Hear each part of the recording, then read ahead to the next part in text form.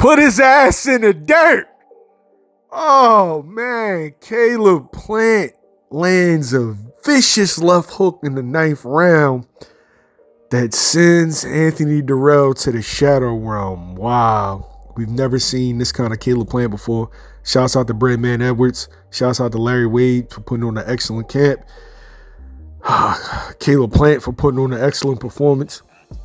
I don't know. Plant looked like uh, Plant like an animal tonight. Uh, boxed really well. The speed was on point. Um, the laser sharp accuracy with his punches. Real, real good game plan. Uh, landed the jab up top, landed the jab to the stomach, kept stabbing him, kept stabbing him, kept stabbing him. And then just landed, I'm talking about a picture perfect, beautiful, beautiful left hook. One punch knockout. Oh man, like uh, shit.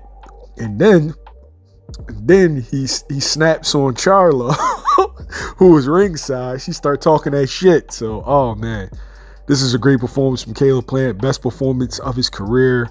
Uh, he he looks like a completely new fighter.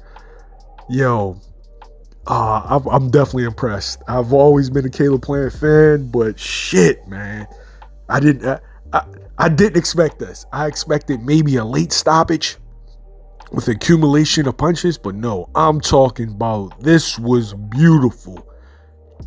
Left hook to the body, left hook up top.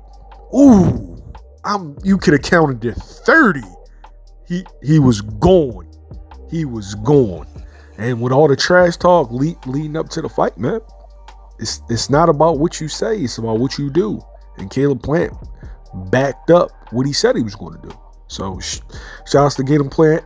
I want to see him in a high profile bout next, man. Maybe a Charlo, maybe a Benavidez, Demetrius Andrade.